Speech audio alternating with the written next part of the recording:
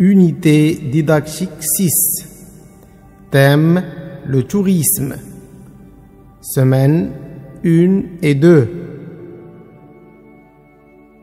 Zineb était en voyage à Marrakech. En revenant, elle écrit le texte suivant pour le présenter à ses camarades. Pendant les vacances dernières, je suis partie avec mes parents en voyage à Marrakech.